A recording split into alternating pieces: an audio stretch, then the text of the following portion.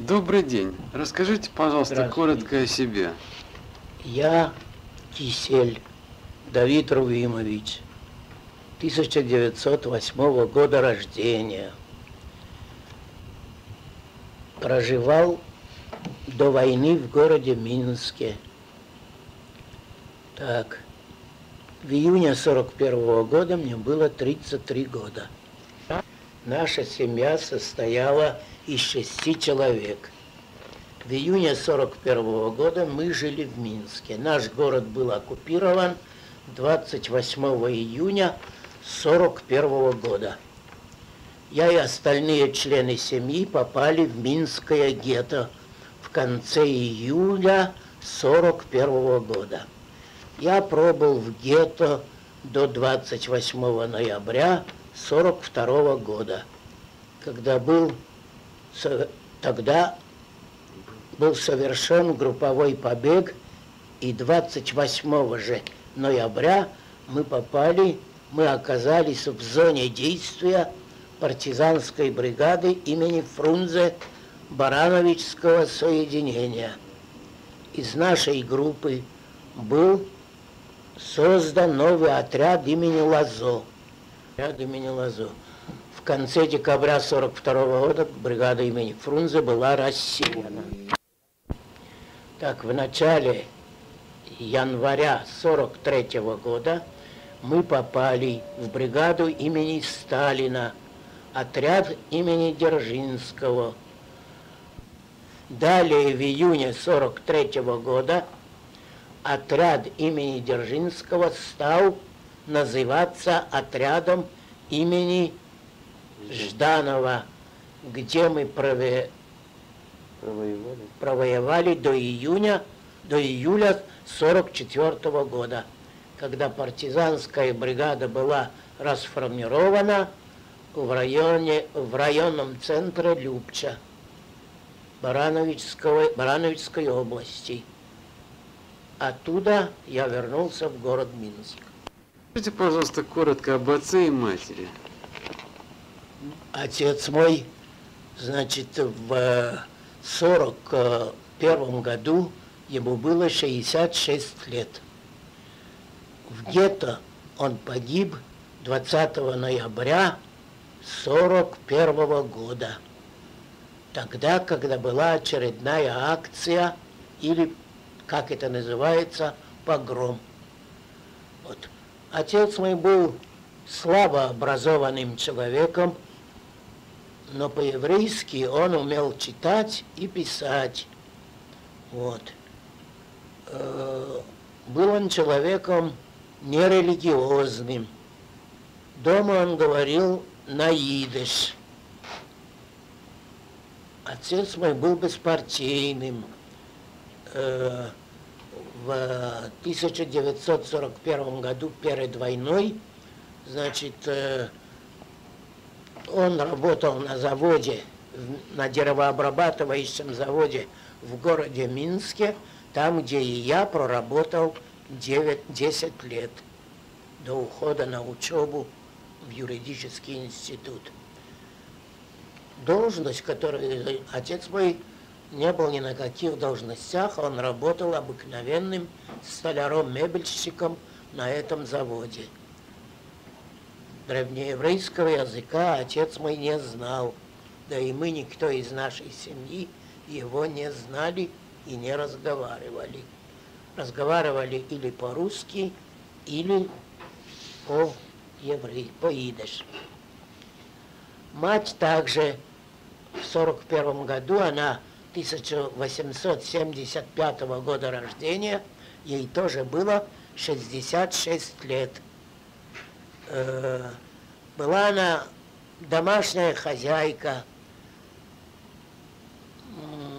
была тоже не очень, не очень религиозная.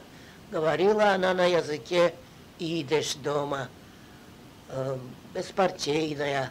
Место ее работы – в 41 году это домашняя хозяйка. Вот. Она на идыш читать не умела. Древнееврейского языка она тоже не знала. Мать моя погибла, когда в гетто был повальная, была повальная акция, то есть вылавливали всех тех, кто не успел спрятаться. Мать также не спряталась, была поймана, и она погибла вместе с матерью моей жены.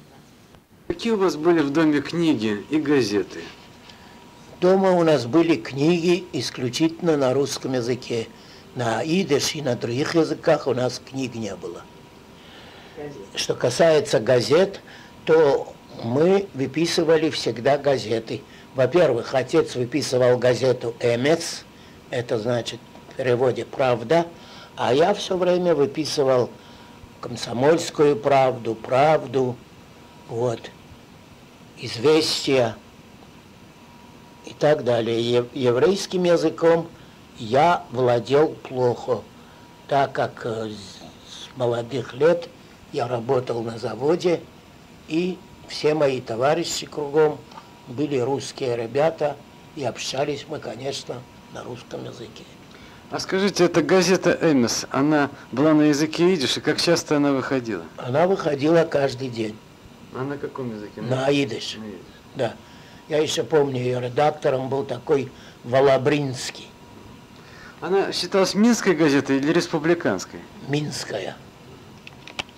Наблюдались ли в вашей семье основные еврейские традиции? В, в нашей семье соблюдались праздники, но они не носили религиозного характера. В субботу приходилось работать, потому что и отец на заводе работал, и я на заводе работал, и в субботу приходилось работать, а выходной день было воскресенье. Никаких, никакие ни молитвы, ни соблюдения кошер, ни посещения синагоги у нас не было. У нас отец только в религиозные праздники бывало, когда у него было время, ходил в синагогу. Какие еврейские организации были в Минске в 1941 году? В 1941 году в Минске уже никаких самостоятельных еврейских организаций не было. Вот. Был еврейский театр, а затем и театр был отнят, и хоральную эту синагогу, где находился еврейский театр, отдали под русский театр. Вот. А библиотеки были? В библиотеках можно было достать литературу, но в центральной библиотеке, а так уже в отдельных, на предприятиях библиотеки, в профсоюзах еврейской литературы никакой не было. К какому уровню по своему имущественному положению вы могли бы отнести вашу семью в 1941 году? В 1941 году, то есть до начала, перед началом войны, мы жили ниже среднего уровня. Вот и все. Скажите, а какое образование вы получили к моменту начала войны? К моменту начала войны я был юристом, я уже закончил тогда юридический институт, Минский юридический институт. Э, из еврейского образования я никаких учебных заведений не кончал. Перед войной работал в адвокатуре адвокатом. А учились вы в Хедере, в еврейской школе религиозной? Да, в детстве я учился несколько лет в Хедере. А потом, когда материальное положение семьи стало очень плохим, меня отец забрал к себе работать. И мы вместе с отцом работали в деревнях у крестьян по строительству. Говорилось ли в вашей семье до войны что-нибудь о Палестине? о том, что кто-то когда-то туда мог уехать, вообще на эту тему. Значит, эта тема была нам знакома, но чтобы думать о поездке туда или о выезде, так вопрос никогда не стоял. Нет, ну может рассказывали, что кто-то уехал когда-то. Я не помню из наших знакомых, кто уезжал в те годы в Палестину. Как вообще родители относились к самой мысли о Палестине, вот, что было бы хорошо или наоборот было бы плохо? туда уехать? И эти вопросы у нас не дискутировались. Ну так они активно не возражали против того, чтобы... Нет. активно никто не возражал. Вот. В те годы слово «сионист» имело отрицательный оттенок? Нет. Э, Никто даже из э, населения в основной массе своей не знали, что такое сионизм. Нет, я имел в виду среди евреев, как понималось это слово. Ну, среди евреев это понималось в буквальном смысле, что евреи, что сионистами назывались те, которые собирались уезжать. А так среди рабочих евреев не было таких. Что официально писалось или говорилось по радио в 1941 году об, о возможности начала войны с Германией? Значит, э, пресса освещала тогда события в Германии, что Германия готовится к реваншу, готовится к войне. Но о нападении на Советский Союз никто никому ничего не говорил. И таким образом, для того, чтобы рассеять эти все слухи, было опровержение ТАСС, что немецкая армия концентрируется у наших границ не для того, чтобы напасть на Советский Союз, а для того они перегруппировываются и совершают свои маневры. Известны ли вам какие-то официальные мнения, публикации в газетах о преследовании евреев нацистами?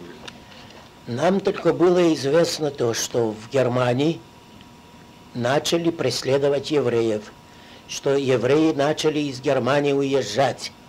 Многие уезжали в другие страны. Это было из газет известно или по слухам? Нет, это было известно из газет. А в 40-41 году В 1940-1941 году ничего не говорили о преследовании евреев. Скажите, а в вашем городе были еврейские беженцы из Польши? В нашем городе были еврейские беженцы из Польши, и они рассказывали про те ужасы, и мы, нам стало известно, что уготовлено, что уготовано нам, немцами, если они придут. Как вы или ваши родители доверяли этим разговорам или нет? Ну, этим разговорам доверяли, потому что это говорили люди, которые на собственном опыте и на собственной, как говорят, шкура пережили это все. Ведь они же вынуждены были удрать из Польши, потому что там начался уже по существу геноцид. А вы с ними непосредственно общались или только разговоры слыхали? Только разговоры. Через третьих лиц или напрямую от них? Были и напрямую, встречались с ними. Они даже некоторые работали, поступали работать. Вот, и рассказывали, как относились к ним.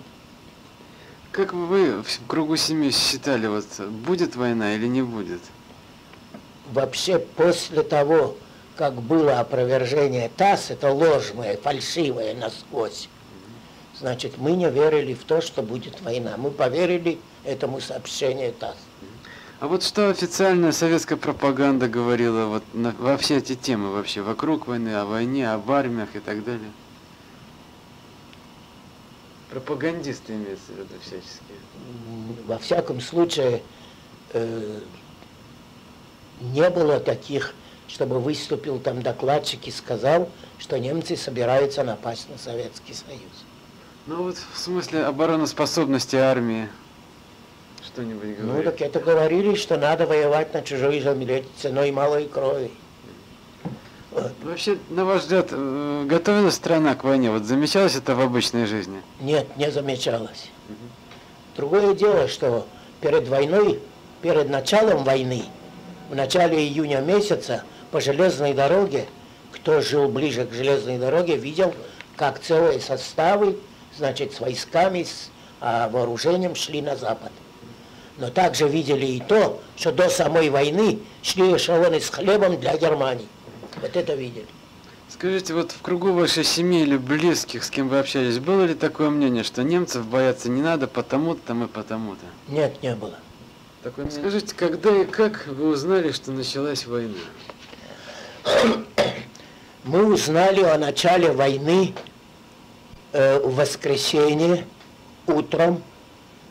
Э, наше радио сообщило, что немецкие, немецкая авиация уже в 4 часа ночи с э, этого 21 на 22 июня бомбили города. Это Севастополь, Киев, э, на- наш народ настолько не был подготовлен к войне, что в Минске торжественное открытие озера назначили на воскресенье. И огромная масса людей собралась на открытие этого Комсомольского озера. Так что никто ничего о войне не знал. Но узнали окончательно в 12 часов дня после выступления Молотова. А где были в это время вы? Я был тогда в Минске. Ну, где в Минске, я понимаю. А что- где? А я вам скажу, я помню точно. Я работал тогда адвокатом, и в воскресенье, в этот день, я пошел в суд изучить одно дело, по которому я должен был выступить. После того, как вы узнали, что началась война, как дело дальше было? Значит, как было дело дальше? Я, когда узнал, что началась война, поскольку я был членом партии, я пошел в райком партии. И они мне сказали, иди в военкомат, иди, э, вступай в эти истребительные батальоны, которые истребляли немцев, которые, до, которые начали сразу нападать и шпионить главным образом, подавать сигналы своей авиации. Значит, я пришел домой, и мы решили, что надо уходить. И когда мы пошли, было уже поздно. Немцы нас опередили, десантники, о Минском километров 50, и вернули нас обратно в город Минск. А через сколько дней от начала войны вы решили уйти? Через сколько дней после начала войны? Ну, это было дня два-три. Да. А создается ощущение, что чуть ли не в тот же день вы уходить решили. Нет, не в тот же день, а через дня два. Потому что немцы еще, Минск немцы заняли 28 июня, а до 28 июня было такое безвластие. Власть удрала, Пономаренко со своим ЦК даже забыли парт-архив, па- партийные билеты прихватить с собой. И они валялись потом. Паспорта валялись всюду в милиции. Не успели. Вот в этот период безвластия были ли какие-то антиеврейские проявления со стороны местного населения? Нет, не было. Нет. Тогда еще ничего не проявляли они.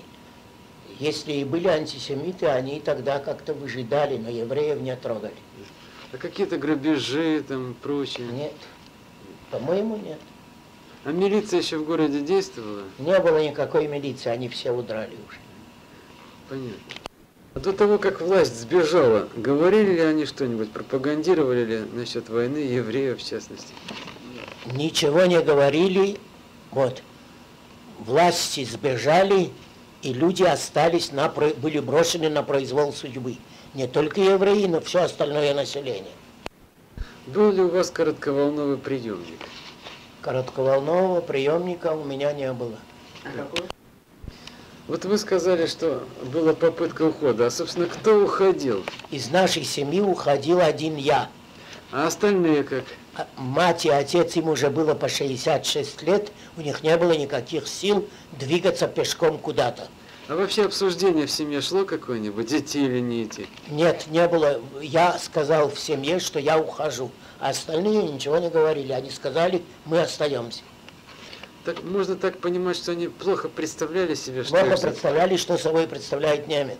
Да. И так и остались, да? Да. Знали ли тогда ваши родители о других еврейских семьях, которые уходили и смогли выйти? Они ничего про это не знали. Ну, ваши соседи не уходили? А у нас во дворе были одни русские соседи, они никуда не уходили. А, кстати, кто-нибудь из них говорил, чтобы вы уходили, спасались? Нет, Никто. никто. Расскажите, как организовалось в городе гетто и как вы туда попали? Значит, в июле месяце, я не помню сейчас точную дату, было издано немецкое распоряжение коменданта города, властей, в общем, немецких. Город был уже оккупирован, уже была организована управа, был комендант города, и, значит, было вывешено объявление. Все евреи, проживающие жиды, проживающие в Минске, должны обязательно переселиться в отведенное для них место в гетто. И отвели это место. И мы тогда все вынуждены были туда переехать. Туда переехали, кто где нашел какой-нибудь уголок, тот и занял его, и начали там жить. Сколько примерно человек оказалось в гетто? В гетто оказалось вообще в Минске около 100 тысяч человек. Это гетто было ограждено как-нибудь или иным образом Вначале обозначено? гетто ничем не было ограждено. Потом, когда уже люди переселились, то гетто начали ограждать проволокой, колючей проволокой. Причем это делалось на, выход, на выходах, на тех улицах, где был выход из гетто в русский район. Скажите, пожалуйста, в доме, где вы жили, сколько всего было человек? В гетто, Да. В доме, в котором мы жили, в каждой комнате была семья. Ну, в целом в доме А сколько? в целом в доме, это был деревянный дом. Во-первых, гетто определили в районе деревянных зданий. Там очень было мало каменных домов. И поэтому в каждой комнате занималась семья сколько могла. Я, например, в нашей комнате соорудил двухэтажную нару для того, чтобы было где спать. А На чем вы спали? Спали на деревянных нарах, потому что кровати было мало. Я соорудил двухэтажную нару, где можно было поместиться четырем человекам. Два наверху и два внизу. А что стелили? Стелили из шмоток из своих, что было. Мы перевезли часть из дома, матрацы взяли, там тюфяки какие были, перевозили. Было ли мыло и моющие средства? Не было никаких моющих средств гетто.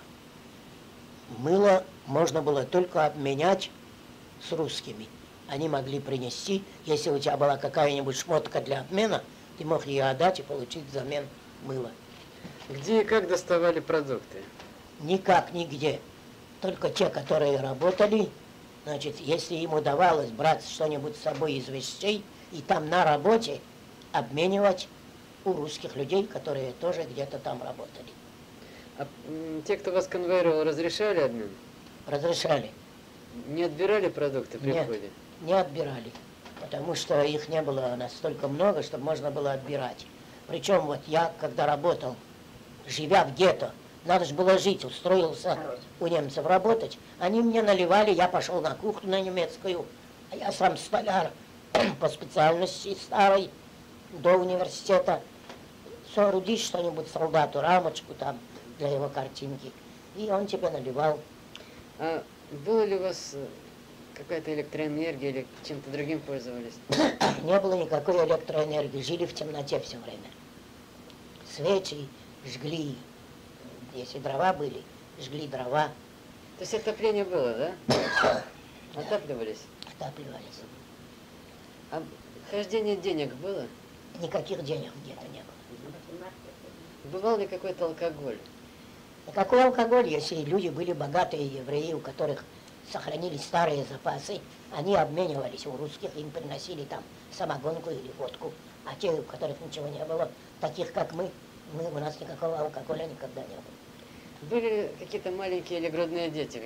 Были грудные дети, которые быстро умирали от голода. Молоко для них доставалось? Нет. А вообще люди каким-то образом имели отношения друг с другом, скажем, какие-то в интимные контакты вступали? Интимные вступали люди. Вот состояние опасности повышало или наоборот тормозило эти отношения? Состояние опасности, так если говорить словами, что это был пир во время чумы, так это на некоторых распространяется. Потому что старые люди решили хоть перед смертью поспать с молодой девушкой. Примечание интервьюера. Искажение голоса на пленке связано с тем, что сели аккумуляторы. Скажите, пожалуйста, вот эти девушки, вообще насколько распространенный был случай сожительства пожилых с молодыми? Видите ли, я не могу сейчас этот вопрос конкретизировать, но вообще-то были такие случаи, когда старые люди, они бывшие, которые жили раньше в этом районе, у которых были кое-какие запасы, они могли к себе взять девушку, кормить ее для того, чтобы с ней сожительствовать. То есть можно сказать, что ими двигал Им голод двигал девушек- только голод. девушками, Да. да? Родители не возражали обычно? Родители или не знали, а может и не возражали, может она что-нибудь приносила своим родителям, Мгм. потому что Ведь люди умирали каждый день десятками. Да. Вот. Ну вот пару слов, может быть, о Юденрате. Как вот оценивало большинство людей вокруг вас его деятельность? А я вам скажу, люди относились к Юденрату с уважением. Многие говорили, что они, конечно, предупреждают об опасности, ведь они были близки с некоторыми немцами, которым было известно, что такого-то числа готовится акция, то есть готовится погром очередной. Передавали населению, мол, прячьтесь в этот день или уходите на работу, на работу вас никто не тронет. Угу. Так и было. Вот. Ну вот, а были ли какие-то случаи доносов или предательств? Этого мне неизвестно. Да. А какие-то вот вообще предатели со стороны евреев были? Предатели были так же, как среди всех народов, так и среди евреев были предатели. Ну вот, не могли бы рассказать? Вот э, начальник биржи, Эпштейн такой, был начальник полиции из варшавских евреев, сейчас не помню его фамилию, который по ночам с немцами ходил, выводил людей из квартир, расстреливали их, имущество забирали и так далее. То есть какой-то был у них договор, что ли? А, с немцами или с полицаями? Это еврейские полицаи, которые были в гетто. Они в основном состояли из евреев из Польши. Так. Они... Этих, бесспорно, это были предатели. Они вообще грубо обращались с населением? С населением, что, что значит грубо? Ведь население... Ну, били, ругали их. Да нет, не били, не ругали. Ну, вообще на, на работу брали. Нет, ну вот вы раньше сказали, что вот а, вы расстреливали, вот как это? А это были ночные погромы начались. Это был определенный период в гетто, когда окружали ночью дом, выводили всех живущих в этом доме, их всех убивали, а еврейским полицаям было дано указание немедленно все трупы убрать на кладбище, захоронить, чтобы к утру было все чисто. Нет, а вот вы раньше сказали, что начальник еврейской полиции это дело ВКонтакте. Ну, Прикла... они работали ВКонтакте с немцами. Они тоже стреляли, да? Тоже это убивали. я не знаю. Они были без оружия, им оружие не доверяли немцы. Так какая их функция была? Прикрыть? А функция была их вот порядок наводить. Угу. Вот. Но тем не менее, вы их считали предателями. Их считали предателями. Я, например, считаю их предателями, потому что кто не был предателем, тот уходил или в партизаны, если он был молодой и еще в силах, ну, или спасался, прячась, а то они не прятались, а прямо на виду у немцев были. Немцы их не трогали, потому что они немцам помогали. Понятно. Ну, а вообще взаимоотношения, отношения евреев друг к другу вот где-то? Отношения евреев друг к другу нехорошие. Были и хорошие отношения, были дружеские отношения. Когда собирались, ведь в конце концов света не было, собирались в темноте, а у некоторых евреев были запасы и керосина, зажигали лампу какую-нибудь, сидели, рассказывали. А вот в случае нехороших отношений? Ну, я не могу сейчас конкретизировать этот вопрос. Другое дело, что были и нехорошие отношения. Были даже среди еврейских некоторых э, работников, там, которые крутились возле этого еврейского комитета или возле еврейской полиции, которые брали у евреев золото, чтобы отправить их в партизаны. Были и такие случаи. Или как, отправляли? Отправляли некоторых. Я помню, был такой Нарусевич – ты-то не знаешь его? Я знаю. Знаешь? Вот, его потом расстреляли наши угу. партизаны за то, что он брал золото у людей и вместо того, чтобы действительно отправить их в партизаны, обманывал их, и они погибали наравне со всеми в гетто. Угу. Были такие случаи. Ну вот взаимопомощь какая-то была? Если были хорошие евреи, хорошие люди, которые хотели делиться – то была помощь, а таких, я не знаю, с нами по существу никто не делился ни с чем. Мы то, что могли сами как-то пробить себе. Вот. Пробивали, а чтобы получить от кого-то помощь, я не знаю, как ты там получала помощь от, от евреев. Ну а вот э, конкретно, то есть ваша семья не знает этого? Нет. А вот глядя там по сторонам, не замечалось? А я по сторонам, по сторонам не особенно глядел, потому что ходишь на работу для того, чтобы там похлебать немножко супа, получить 40 грамм хлеба в день немцы давали. Давали, да? Да, те, которые работали там у них, по 40 грамм хлеба. Это была норма. А вот не скажете, вот какая-то организация общественная там не возникла, скажем, на базе Эденрата или под ним, или вне него? Никаких... Типа милосердие, которое не, распределяло бы что-то, вот собирало бы у богатых, не, было, не, не было чего распределять. А синагогальные вот эти люди верующие, они не делали ничего подобного? Нет, нет, они ничего не могли да. делать. Они погибли все и все. Нет, ну вообще как погибли? Сразу в первую очередь ну, или они еще были?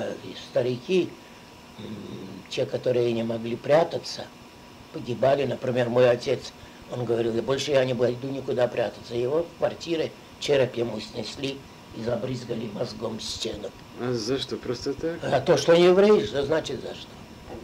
Во время погрома.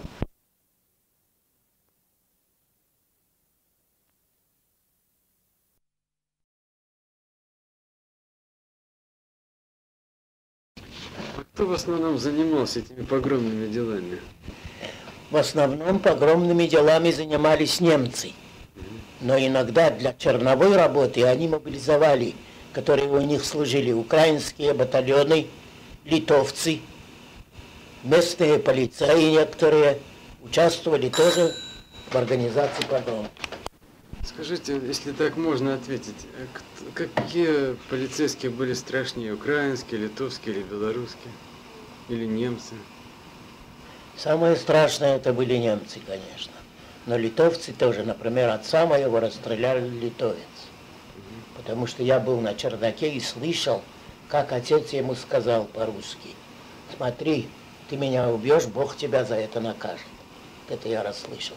Потом раздался выстрел, и все было кончено. Я спасся только тем, что сумел быстро взобраться на чердак. Они так по тайникам не смотрели, да? Нет. Просто так, кто на пути попадает. Да, да? кто на поверхности находился. А было время, когда они уже с собаками пришли. И 28 июля, например, 42 года, они уже искали в малинах в этих. Вот. Наши мамы же сидели в дровах, были спрятаны, их нашли. А, было ли что-нибудь известно из слухов или из личного опыта о самоубийствах в гетто? Из личного опыта мне ничего не известно. Но слухи были о том, что в эту ночь, например, какие-то люди там кончили с собой, не хотя, не желая быть убитыми немцами. Обычно это были пожилые или помоложе? Обычно это были пожилые люди, помоложе не было таких. Помоложе. Мужчины, женщины? Этого я не могу сказать. Угу. Вот каково, на ваш взгляд, было преобладающее душевное состояние людей в гетто вот в средний период, скажем? Ну какое? Все люди поняли в гетто, что они обречены. Значит, те, которые принимали меры к тому, чтобы спастись, начали уходить в партизаны, искали пути. Но путей этих было очень мало. Как вы думаете, многие люди пытались бежать или в меньшем числе? Пытались бежать те, кто имел возможность, во-первых, силы, это были более молодые. Пожилые же люди ждали своей участи покорно, потому что другого пути не было к спасению. Вот. Было очень мало связных, мало было направлено в гетто людей, которые бы могли указать путь в партизаны – а вслепую идти многие не решались. Таким образом, и в этой части тоже было много такого, что не должно было быть. Надо было присылать более, больше связных для вывода людей из гетто в партизаны. А вот так вот рискнуть пойти, лишь бы уйти из гетто, были случаи? Были, конечно, случаи. Но вот моя сестра, например, вывела группу людей, но она знала, куда вести. Значит, она была в данном случае проводником, и она привела группу людей. Вот. Так же, как и я, когда выходил. А вслепую? А вслепую это бесполезное дело. Потому что если ты явишься к партизанам без всяких э, связей, тебе не поверят. Могут расценить это как немцы прислали будто бы для того, чтобы шпионить, для того, чтобы предать потом. Но такие случаи мне конкретно неизвестны. Вот. Я во время проживания в гетто установил приемник у себя на чердаке в лежаке, где мы принимали сводку последних известий из Москвы. Это до некоторой степени вселяло надежду на то, что все-таки победа когда-нибудь да придет. Вот. И это, конечно, придавало силы переносить те ужасы, невзгоды, нечеловеческую жизнь, мучения. Вот. А вот если мы вернемся к вопросу о душевном состоянии людей, если мы возьмем средний период, например, да, то вот как вы наблюдали, люди больше были покорны, вот как-то так пассивны или наоборот пытались чего-то шевелить? В основной своей массе, в особенности пожилые люди, были пассивны, они ничего активно не могли сделать активно могли только сделать люди, которые в состоянии были двигаться, двигаться, с работы уходить, договариваться в русском районе с тем, чтобы проводили в лес. Вот такие были. А в основной своей массе среди пожилого населения там была полная безнадежность и отсутствие всякой перспективы на то, чтобы спастись. А вот истерики случались вот с людьми? Нет, я не видел истерик. Сходил ли кто-нибудь с ума? Были, конечно, случаи, когда с ума сходили, когда люди сами уходили в русский район, чтобы быть скорее пойманным и уничтоженным, потому что иначе голодная смерть все равно – а вот было такое равнодушие к жизни, нежелание вообще с кем-то связываться, как бы уход в себя такой? Ну, видите ли, мне трудно судить об этом, так как я к таким не отношусь. Я все время верил в то, что наконец-то удастся уйти все-таки в партизаны, потому что партизанское движение набирало силу, и если люди были способны носить оружие, должны были обязательно стремиться к тому, чтобы идти к партизанам. А как вы узнавали, что они есть? Вы знали, что они есть? Во-первых, мы узнавали, находясь на работе у немцев, угу. мы узнавали от немецких солдат, что они шли на операции по борьбе с партизанами. Они сами об этом рассказывали. Оттуда мы знали, это была такая информация, чисто с немецкой стороны. Ну, а потом в русском районе люди рассказывали, что ведь было подполье. В городе был подпольный горком, подпольный обком, и люди были в курсе дела. Ведь таким образом же и устроили гибель этого гауляйтера Беларуси Кубы. Это еще во времена гетто? А как же? Я хотел спросить, было ли какое-то подполье в гетто, какие-то очаги сопротивления? В гетто не могло быть очагов сопротивления. Ну как? Только в партизаны, уход партизаны. Потому что в гетто... Ну какая-нибудь хоть организация была вот? Не было. Ну, вот попал... если люди были пассивны, но вы им говорили, вот пойдешь с нами? Если, если бы говорили людям, пойдешь, и он в состоянии двигаться, он пошел бы. А как понять состояние двигаться? Ну, от голода не могли люди, были опухшие, не могли ходить. А вот те, которые были религиозные, они собирались иногда на молитву? Я не знаю. Не знаете. Вообще вы не сталкивались с религиозными С религиозными людьми я не сталкивался. А организациями религиозными? Нет, Нет, с религиозными организациями их в гетто и не было. Не было, да? Религиозных организаций. А какие-то вот попытки самообороны были? Чем? Оказать сопротивление погромщикам пытался кто-нибудь? Нет. Вам неизвестно, Нет. да? Ну, есть, были случаи, я помню, когда один, например, по фамилии Катун, человек был, с которым я вместе работал еще на заводе, значит, схватил ножницы и ножницами проколол глаза немцу, который приходил забирать для того, чтобы убить. Ну, его взяли и расстреляли тоже. То есть вот такие единичные, да? Единичные случаи. А вот организовать вот какой-то Не перестрелку? было никакого оружия в гетто и не могли это сделать. Никакого, да? Во-первых, при входе в гетто с работы ощупывали людей. Мне удалось пронести в гетто ТТ, пистолет, в голенище сапога. Были широкие голенища, и я его всунул в голенище и так вот пронес. Хорошо, что тогда не ощупывали, а как-то пропустили. Были также случаи, это все зависело от того, кто стоял у этих ворот. Если стоял большой мерзавец, то он брал у еврея кастрюльку или банку, если он нес в гетто суп, выливал, не давая проносить. А были ли случаи помощи со стороны немцев? К чем-либо, информацией, питанием, ну как-либо? Я сталкивался с немцами, я даже помню их фамилии.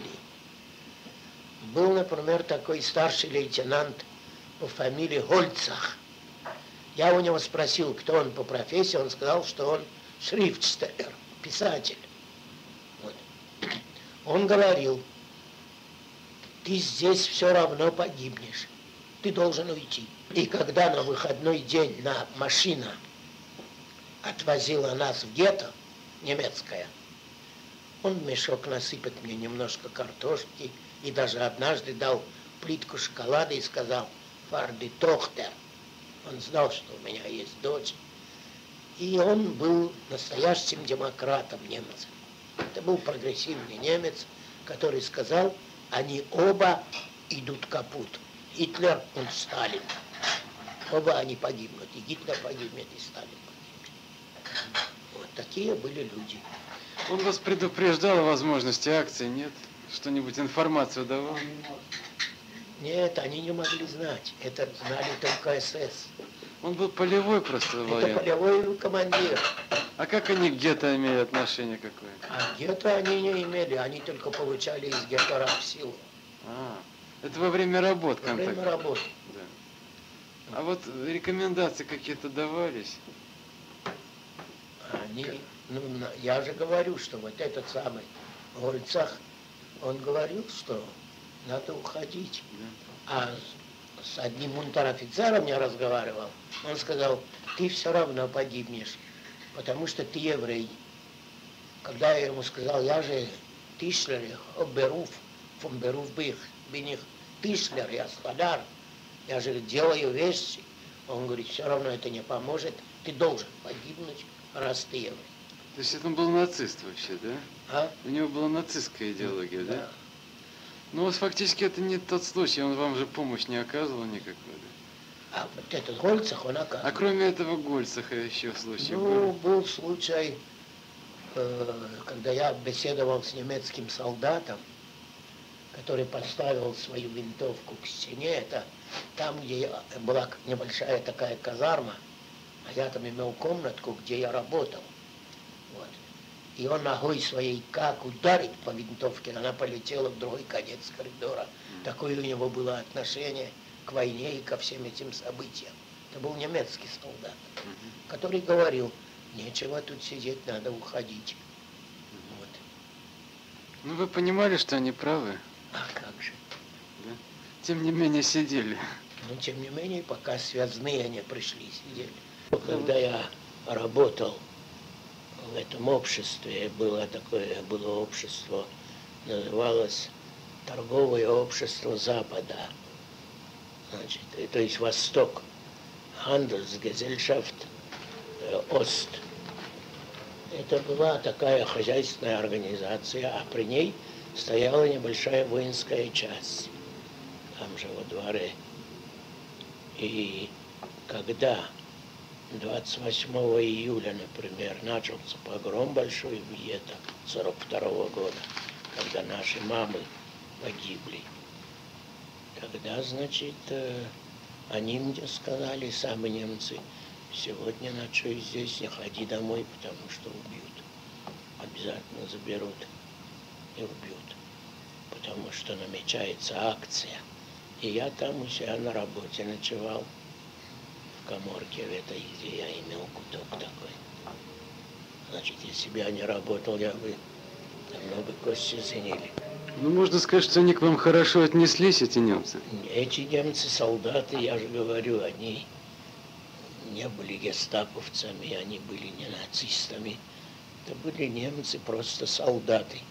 Причем уже не молодежи, то есть этих команд Остарбайта, э, тот, организация тот, это их главный организатор, доктор тот. Да, вот, вот расскажите, как, собственно, ваш побег совершился. Наш побег совершился таким образом, что накануне 20, 27-го, кажется, пришла эта броня, Бронислава. Вы уже были без родителей? Уже не было ни матерей, ни отца не было. То есть вас ничего не держало? Ничего уже? не держало, и все. Значит, мы уже с женой вдвоем, значит, пришла эта броня и говорит, будьте завтра утром готовы к уходу. Ну, 28-е пришло, переночевали, она пришла утром к бирже труда, где устраивались колонны для ухода на работу. Мы пристали к одной колонне и вышли из гетто и пошли э, с этой колонной на работу. Не войдя во двор этого склада немецкого, мы начали постепенно срывать друг у друга эти самые и латы эти, и друг за дружком пустились в путь за нашей связной. И она нас привела к партизанам. Вот таким образом мы ушли в партизаны. Какой это был год, месяц? Это был 28 ноября 42 года. А сколько, собственно, у вас было человек? У нас в группе, которую да. мы выводили, около 18-19 человек. Да. Вот а могло быть больше? Могло, конечно. Ну а почему вы не, не пытались? Это не так просто, это было довольно опасно, могли эту группу засыпать. Да. Ну, 30 могло пройти? Я затрудняюсь сказать. Растянулась бы очень длинная цепочка. А были люди, кому вы предлагали и отказались? Я что-то таких не помню. Хотя нет, я были такие люди, да. которые отказывались, они, мы боимся идти, мы не пойдем. А боялись они чего боялись? Боялись смерти. А они считали, что они считали, что их минет, минет смерть. Как вообще люди под, понимали будущее свое в гетто? Кто оставался? Все в основной массе уже увидели, что они обречены. И ими как-то овладела такая инертность, такая уже... Апатия, да? Апатия ко всему. Голодные, оборванные, больные – ну вот если бы вы сказали человеку, который в апатии, что давай сегодня уходим, и ты будешь жить, он бы пошел бы? По-моему, пошел бы. Пошел бы, да? Все-таки еще желание жить было, да? Да, поэтому я говорю, что если бы у нас не было антисемитского государства... Вы имеете в виду в какое время? Во время немецкой оккупации. Угу. Там, в Москве, эти Пономаренки всякие и Ворошиловы, бандит этот сталинский. Так э, если бы они серьезно занимались вопросами вывода людей из гетто, они могли спасти десятки тысяч людей. Но они этим не занимались. Были, гетто было представлено само себе.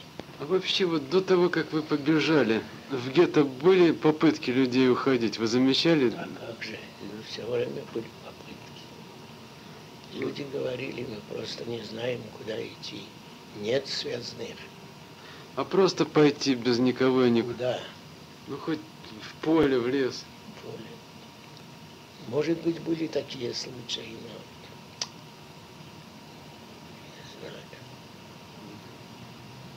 Было очень сложно все. Всюду были заслоны и полицейских, местных, и украинские батальоны и литовцы. Вот. И потом, вот, например, в нашу партизанскую бригаду удалось агитировать целую роту узбеков, которые служили у немцев. Да? Расскажите подробнее. И они с вооружением совсем перешли к нам в партизаны. Вот. Их распропагандировали там, связные приходили к ним на беседы, и их удалось уговорить, и они вместе с оружием пришли в партизаны. А как вообще получилось, что узбеки у немцев оказались? А это из армии, из пленных. А. Вот еще до вашего побега были ли факты, может быть, вы слыхали или знали, что вот было среди евреев доносительство? Нет, я этого не могу сказать. Мне конкретно предателей, стукачи не были известны. Вот деятельность Юденрата, как ее оценивали люди в гетто? Юденрат, я вам скажу, оценивали положительно, потому Ну вот а потом, когда вы уже были в партизанах, может быть, вы помните какие-то э, антиеврейские проявления со стороны руководства, вообще властей? Ну, у нас, например, вот в бригаде, в Сталин, в бригаде имени Дзержинского, вот. И был случай, когда Ривина расстреляли еврея, хорошего еврея, хорошего партизана, между прочим, смелого. За то, что он отказался свой револьвер, пора был передать русскому этому Юдину. Его взяли, расстреляли, и это перед выстроили бригаду и провели такое собрание, как бы митинг в оправдание этого акта убийства этого самого Ривина тем, что это бывший бундовец, а бундовцы это контрреволюционная организация, знаете. Вот поэтому мы его и расстреляли. Такой случай имел место. Но ты же не мог, я, например, или другой еврей не мог же выступить и быть противником этого, потому что, ага, и ты такой, давай заодно иди с ним. Ну еще как-нибудь проявлялось это? А так я особенно, А вот были слухи в то время, что якобы не брать партизан был приказ такой. Евреев партизаны не брать. а были, конечно, случаи, когда евреев не принимали партизаны. Мол, им нельзя доверять, и они не вояки, они отсиживаются в Ташкенте. Ну так, как антисемиты Это толковали во такой время слух войны. среди партизан был, да? Да, что евреи не в состоянии воевать, что они трусы большие и так далее. Вот. И на этом основании евреев не брали в партизаны, евреи должны были гибнуть. Вот. Или они сами. Это было, конечно, не во всех бригадах, не во всех отрядах, потому что были отряды, где действительно и бригады возглавлялись настоящими как говорили в то время коммунистами, как были интернационалистами, которые не были заражены этим антисемитизмом, духом этим. И принимали евреев, и давали им боевые задания, и те очень хорошо справлялись. Вот. Да. Что это? Что? А вот, может быть, в самой политике и практике жизни среди В партизан? практике жизни было плохо. Были даже такие партизаны, я помню, пойдем пограбим евреев. Были отдельные евреи, которые прятались в лесах, устраивали себе там шалашики, тоже ходили ночью по деревням, доставали продукты. Пойдем пограбим евреев. Вот такие были разговоры. А вот как-то идеологические высказывания, как они одобряли то, что немцы делали где-то так? Бы- Они, они не одобряли, они были сами готовы делать. Они, этих людей, если бы их взяли немцы в плен, они бы стали первыми предателями. Да. Чем вы это можете объяснить, что они одновременно и партизанами были, и были вот такими? Это Полуполицаями, объяс- да? Объясняется их идеологией просто. Так вот я хочу узнать, как они высказывались. Их Нет, взгляды они на- от- открыто они ничего не высказывали, а как же. не высказывали. Ведь у нас были и комиссары, я был политруком роты, разве он осмелится при мне что-то сказать? Понятно. Но вот в случаях, когда они не видели или не знали, что вы можете услышать. Это Или- я не знаю, значит, если я не могу слышать, так я и не слышал. А велась ли среди политруков, политруками роты, комиссарами пропаганда антинацистская среди партизан, среди населения? А как же? Ну, ну как, Ну, в деревнях проводили и собрания. Мы же контролировали целые районы. Мгм. Проводили собрания, чтобы немцам ничего не давали, что лучше сжечь, чем им отдать. ну, это с позиции конфронтации Вот. немцы советские. Да, да, да. А с позиции вот, чтобы не уничтожать евреев. А, нет, таких не было. Ничего, я Нет. имею в виду антинацистская пропаганда, Не, значит, пропаганда против геноцида евреев. Нет, Не было, да? не было. А разъяснительная работа вот на этот еврей, по поводу еврейского По поводу уничтожения не было. не было. да? Нет. То есть вы, будучи политруком, не могли выбирать тему? Вам нужно было Нет, утверждать я тему, да? делал то, что приказывали сверху. Был комиссар бригады, он и теперь жив, наш комиссар бригады, Ляхов такой, живет в Минске здесь. А вы не пытались предложить руководству утвердить эту тему? Чтобы они разрешили вам такую тему? Нет, я не ставил Вы этот не вопрос, потому что это было очень опасно. Сам командир бригады нашей был хороший антисемит, Шаш. Понятно. Ну вот, когда вот э, закончилось партизанское движение, вас расформировали. Расформировали. Какой документ вы имели на момент На расформирования? момент расформирования не было никакого документа. Вообще? А потом, значит, э, вызывали в штаб партизанского движения и вручали какую-то бумажку ну, там. Да. Вот что находился в партизанах. А, и в архив передавали. Вот у меня есть все документы. Нет, других документов у вас не было, кроме партизанской справки. Не было да? никаких документов. Когда вы приехали в Минск, какой первый документ вы оформили? Первый документ – паспорт. Когда вы его получили? Я получил его ну, в 44 году. И, Да. и начала жизнь советская. Вот когда вы начали эту советскую жизнь, вы скрывали, что вы были в гетто или нет? А, ка- а зачем это скрывать? Нет? Вот. Это кому, кому это выгодно скрывать, интересно? У вас не было страха, что вот... Нет, никакого страха. Вообще вы евреев преследовали за это, нет? Нет. За то, что жили в гетто, не преследовали. Это не мешало в работе? Не мешало в работе ни к чему. Они прекрасно понимали, что евреям пришлось гетто пережить. Ну и тем более, что они знали, что погибли те евреи, которые не могли из гетто уйти. Вот, а те, которые уходили в партизаны, как они могут этих евреев привлекать к ответственности за то, что они были партизанами, что они были в гетто, то есть не могли. Как вы считаете, вот в целом справедливы ли упреки евреев в покорности, что они в несопротивлении? Фашистов я уже смотря, как на это смотреть. Ну вот посмотрите, как вам кажется. Вот, мне кажется, что евреи, попав в гетто, в особенности уже пожилые люди, поняли, что они обречены. Вот, в особенности после первых погромов. Нет, ну я-то о другом спросил, совсем о другом. Что, в общем-то, действительно мало сопротивлялись, мало... Мало-мало. Могли бы больше, как вы считаете? Конечно, если бы были условия, если бы помогли Ну как помогли? оружие взять. Это же не падает с неба оружие. Это же надо в бою в каком-то завоевать оружие, а голыми руками бой не проведешь. Нет, ну когда людей уже вели на смерть, им все равно умирать в этом Ну, плане. Когда ввели на смерть людей, они шли Где- и спокойно погибали. Спокойно, да? Также и немецкие евреи, ведь немецкие евреи были привезены в Минск для исполнения Как вы считаете, это специфически еврейская была черта, или все бы в этом положении были? Все а русские пленные А что? не шли как овцы на убой. Я не знаю. А где это могли видеть вы? Где? В Минске. На, между Борисовым и То есть вы, Минском. вы были в гетто сами и видели каких людей? Нет, мы А? не были еще где-то. Это были первые дни войны. Да. Когда солдаты, которые попали в плен, шли безропотно по дороге, немцы их вели уже в тыл к себе. Вот. И они все погибли.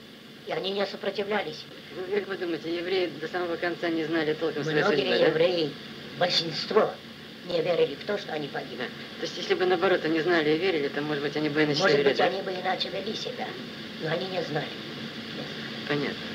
Ну и теперь у нас еще есть возможность спросить вас о некоторых печальных страницах продолжения вашей борьбы за евреев и как вы за это... Теперь, когда я освободился, а расформировали бригаду, я был назначен прокурором Ворошиловского района города Минска.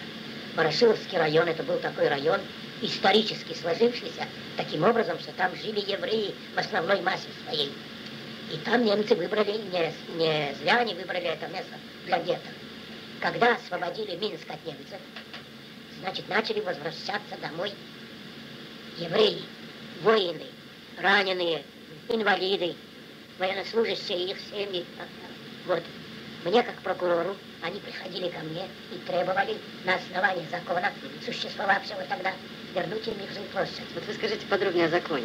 Был издан закон 20 августа 41 года. Постановление Совнаркома о том, что евре... лица, которые возвращались с войны к себе на родину после освобождения их территорий, и они были реэвакуированы, вернулись домой, возвращать им их жилплощадь, из которой они уходили в армию. Значит, очень было повальное прокуратуру, ну, такой э, приход евреев, требующих свою жилплощадь.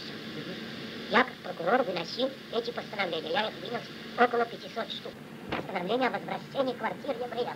В том числе попало несколько сотрудников КГБ. До, за месяц до ареста моего вызвали в комитет госбезопасности и сказали, ты что трогаешь наших работников, что ты их выселяешь и возвращаешь квартиры другим.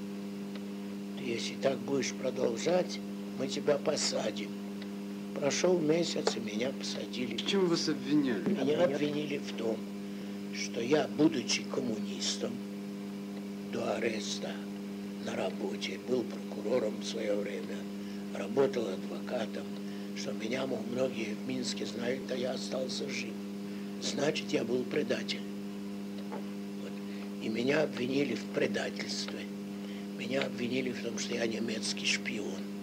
Меня обвинили в том, что я троцкист, что я проводил антисоветскую агитацию, что я злоупотребил своим служебным положением и выселял людей из квартир, которые они занимали и возвращал эти квартиры евреям. Вот, значит, пожалуйста, вот тебе и национализм тут, все, что хочешь. Таким образом было сфабриковано дело из трех томов. Приговор не был оставлен в силе, а были некоторые статьи исключены, но я все равно оставался под стражей и 10 лет отсидел. Спасибо за интервью. Желаю вам больших успехов.